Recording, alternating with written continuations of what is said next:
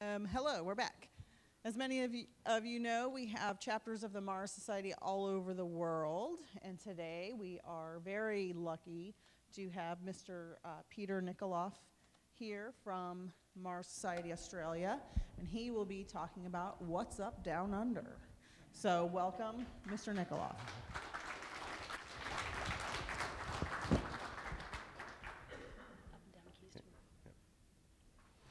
G'day everyone. As you can tell, I'm uh, from down under. I'm an aerospace engineer, I've been working in sort of the aerospace sector and sort of space-related bits uh, in Australia for the last 25, 30 odd years.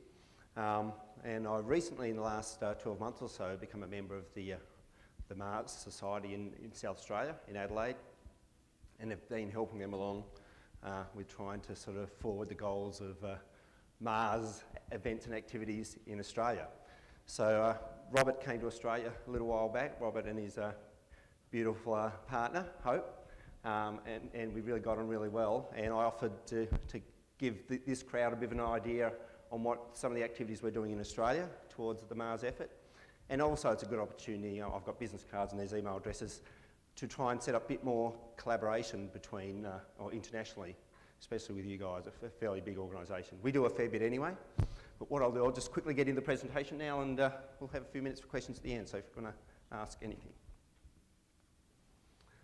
So our mission is, I guess, fairly similar to the overall goals of, uh, of Mars. So it's looking at public outreach um, with a vision of pioneering uh, exploration and, and, habitation of Mars, um, trying to uh, support more aggressive government funding, um, our government funding is uh, pretty shocking. I'll talk a bit about that later. Um, looking at supporting exploration of, uh, of Mars from the from private side, uh, and also encouraging Australian uh, uh, people with respect to the sciences and the exploration of planetary and uh, engineering and educational industry type activities. So the STEM activities which everyone talks about.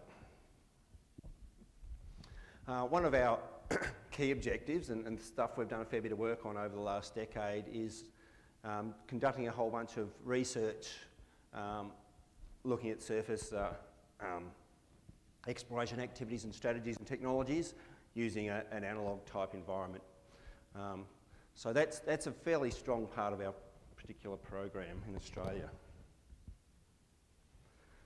Um, Mars Analog Research, uh, I guess as most of you are probably aware, um, the Mars Society in the US has got a very active program, done fantastic work in a couple of sites around uh, North America.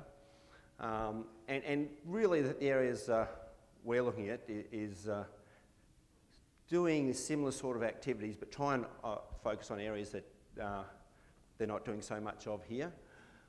But the, the, good thing about Australia is we do have a very um, diverse country um, landscape uh, with very ancient geology. So there's a lot of good opportunities to do uh, fairly uh, good um, analogues and expeditions with respect to uh, geology and exploring those, those surfaces. Um, Mars is extremely dangerous and I guess like the, um, the research station in Utah and, and, the one we're proposing in Australia, we, we do have those arid and, and sort of remote areas which makes you think about some, some, some of the hazards you may, may have to cope with on, on Mars.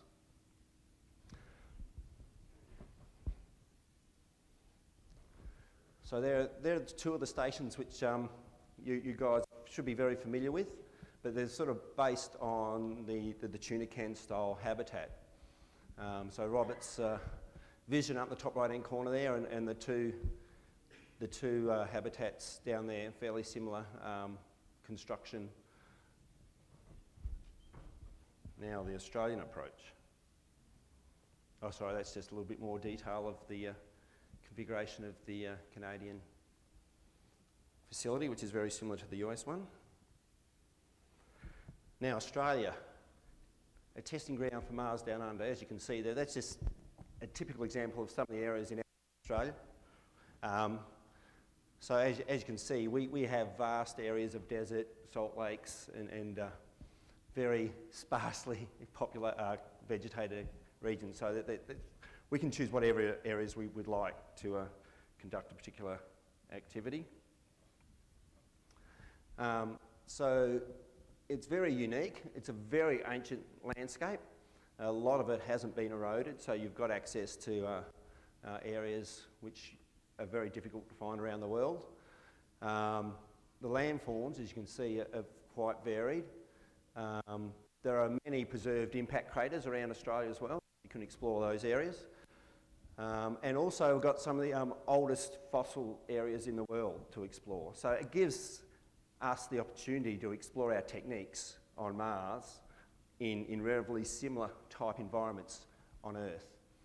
Um, it's, even though it's quite remote, um, it's fairly dry and the dirt roads, are, it's quite accessible and you've got access to really modern infrastructure, which is very, very handy for uh, conducting um, practical um, Mars analog type activities.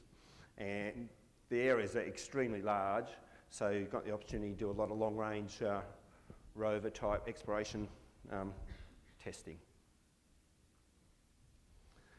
There's a little bit more of the, uh, the type of terrain. So that looks very familiar. I, I, work in, in the aerospace side at our, our Woomera rocket range with a aerospace uh, testing of military aircraft and we've got lots of areas like that. And uh, those sort of very open areas are also handy for other trials we've done, like with JAXA with their sample return missions. We've landed the Hayabusa capsule uh, in, in Woomera as well.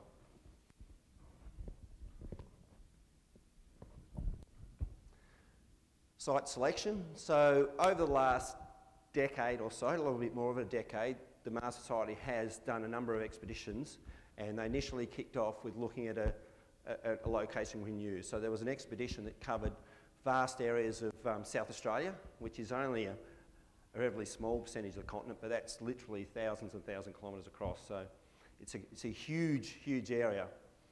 Um, and finally, from, from that, that, uh, that survey, looking at all sorts of areas from engineering, logistics, um, the type of geology, uh, accessibility and things like that, we, we've focused on an area uh, called Arkaroola, so it's a town called Arkaroola. And we've done a number of expeditions out there.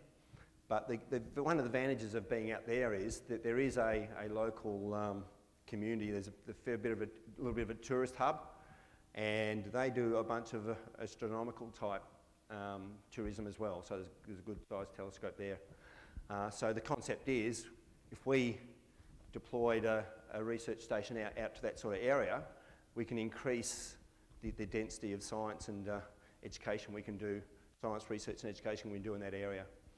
And, and the local community, uh, um, pardon me, is very supportive. So that's, a, that's our aim is to set up the uh, analogue at Arkaroola.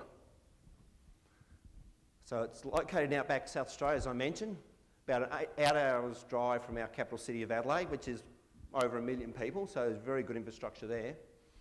Um, it's, it's, it's, it's un, unpopulated, so minimal external interaction for those sort of isolation type missions. There's access via dirt roads, so you definitely need four wheel drives out there. Uh, we can, because it's, a, it's on a bit of a station, we can sort of shut it off from other people, four drive tours and things like that, disrupting any activities. Uh, there's an all-weather airfield close by, so from the safety point of view, um, we can get the Royal Australian Flying Doctors in there. It's, it's a service which provides coverage to all the outback communities uh, for emergency and routine medical support. So that, that's a very important factor. Uh, it's got a very red, rich red, red uh, soil, which again helps add to more of the public side of the, the field, making it exciting. Um, and it is extremely dry typically. We have occasional bursts of, of, large amounts of rain, but it's normally typically dry. And temperatures range in summer from, for, for your, the average temperatures for, for you guys of 95 to summer lows of 68 um, Fahrenheit. Winter go, ranges from about 59 to down to 39. So it doesn't get below freezing out there.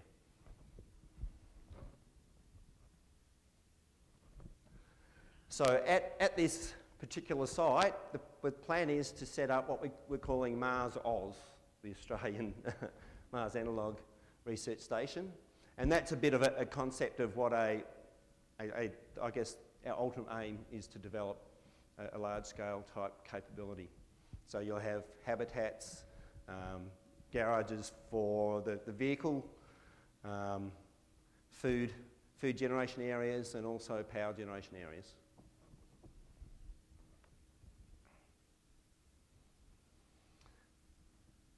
Now we're doing a slightly different approach to the tuna can concept. Um, our concept is looking at the biconical type form, so based on one of the early proposals of how we'd uh, uh, deliver equipment to the Martian surface.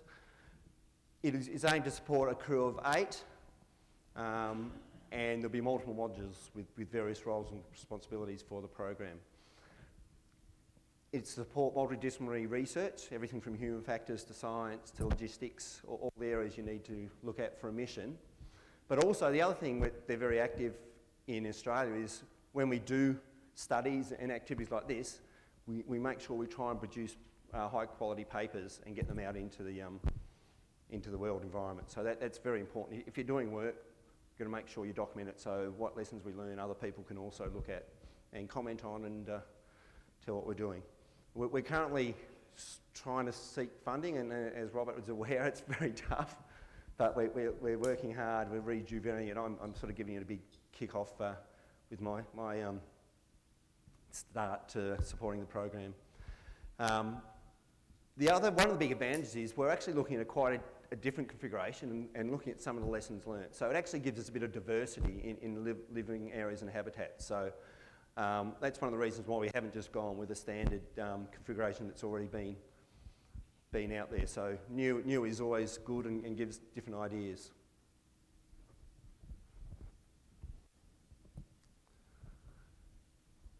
That's just a bit of a overview of the, uh, the landing sequence. So it'll come in, bit of aero drag, parachutes, landing on, probably on, on, on thrusters, and then the modules will be reconfigured once they're on the ground.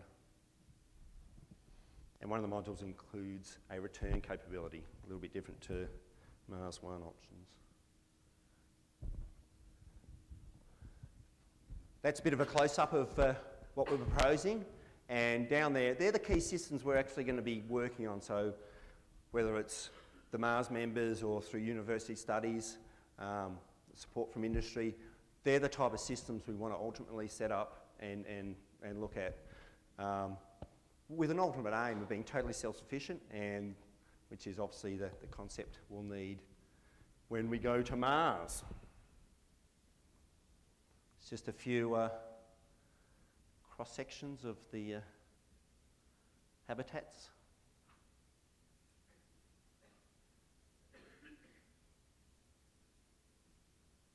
So it includes everything from living quarters, laboratories, um, wet areas, and uh, EVA um, uh, airlocks.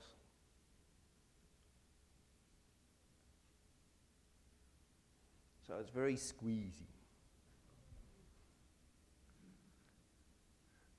As one of our Prime Ministers said, life wasn't meant to be easy. That's the cargo, sorry, and the cargo and return stage. So that's a very big ambitious project. What we're doing in the interim, we're currently doing some studies on the piglet system, so a much smaller uh, system, which we can start proving some of these technologies. Um, and it'll be a lot easier, cheaper to build, move around. We can put it on the back of a truck, move it to different sites. Um, so that, that's an area we're, we're, we're, currently working on at the moment. But very similar concepts to the, uh, the Mars Oz main. The, the other project to support that is the um, marsupial, Mars uh, supial. Supial is an Australian animal. So, concept there, part of going to Mars is obviously the geology and exploration side, and even just supporting the, the habitat and winning resources. So, the vehicle is going to be crucial. So, what we're doing as part of our um, habitat is actually looking at building a vehicle so we can explore those various technologies and uh, mission requirements. That just gives you a bit of an example of some of the uh, rover concepts. Obviously, the moon rover wouldn't last uh, very long in uh, a Martian environment and hasn't got much capacity apart from moving a couple of people. So obviously, we need to go to something that is practical and can support an activity on Mars.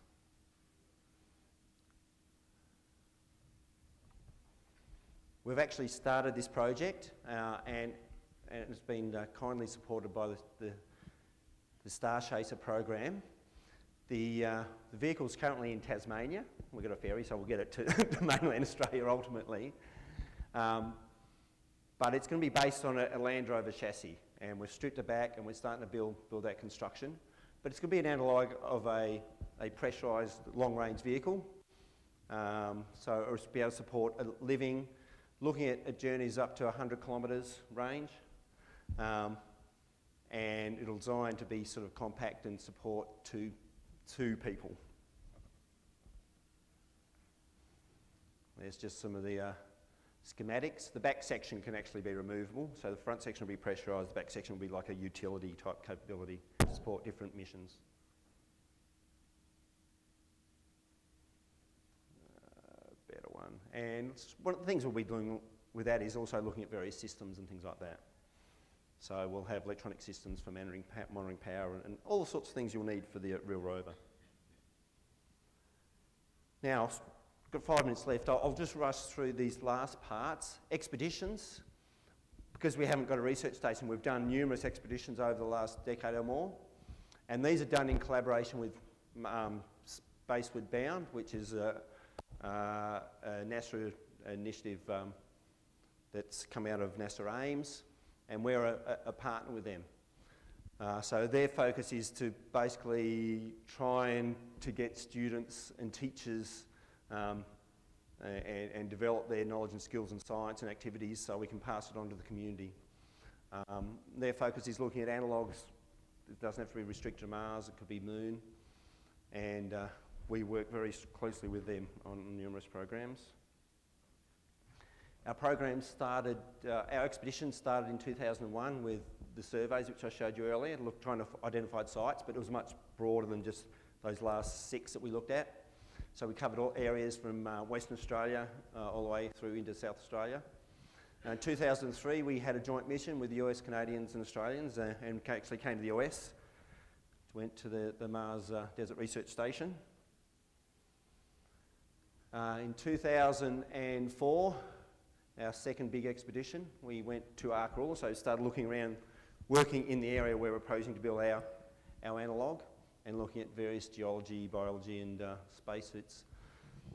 Then various, uh, numerous Spaceward bound events at various sites in Australia and uh, in, in, South Australia and uh, Western Australia. 2014, we had a challenge with the Indians. Um, had, had a bunch of students coming over looking at uh, robotics with Australian students. And uh, this year, we'll be sending some observers to uh, Spaceward Bound New Zealand. Conferences, we've been running conferences from 2000 to 2012, looking at Mars exploration. Because it's such a small community, we, we've actually aligned this now with the Australian Space Research Conference. And the next one is in September the end of September. So if you're in Canberra, Australia, uh, you're certainly welcome to come along. Give me a buzz and we'll, we can chat about it if you want to talk. Um, off-earth mining is another area one of the local universities is working on. Uh, Australia is a world leader in mining.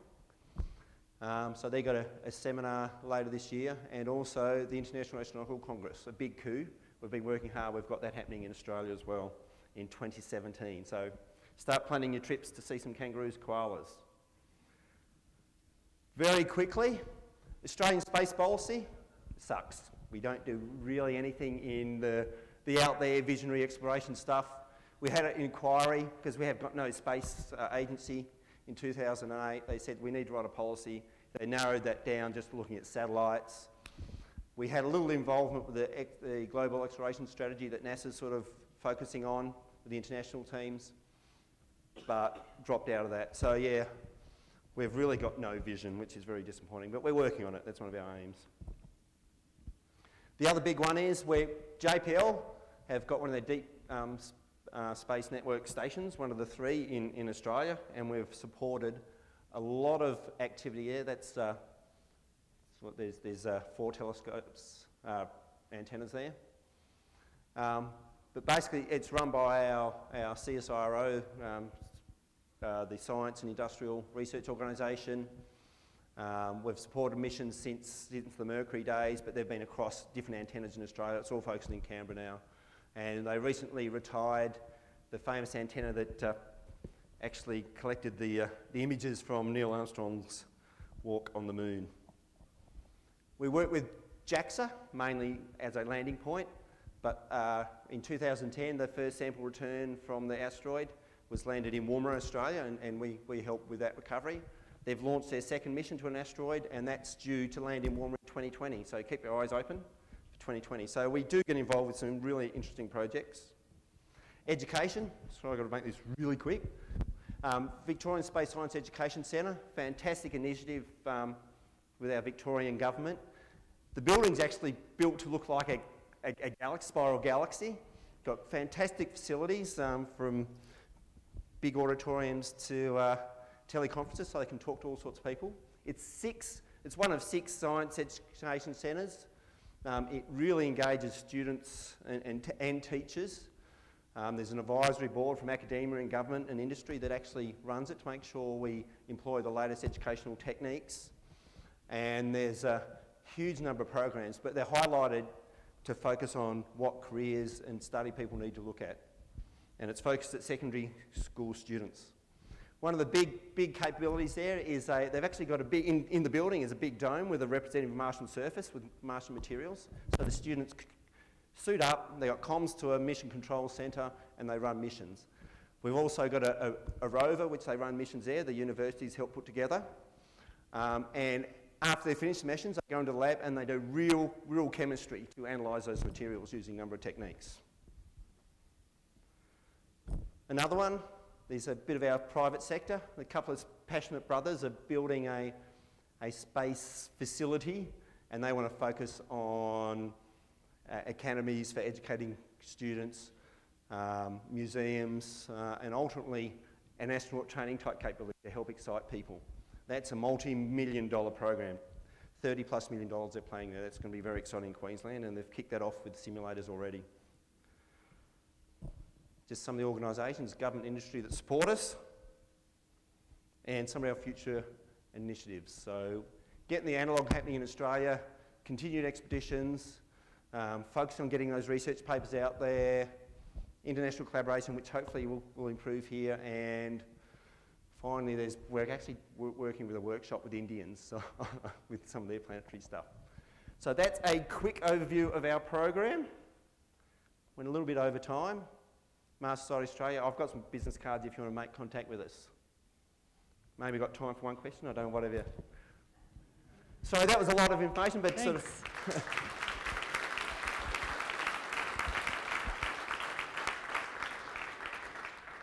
Any questions?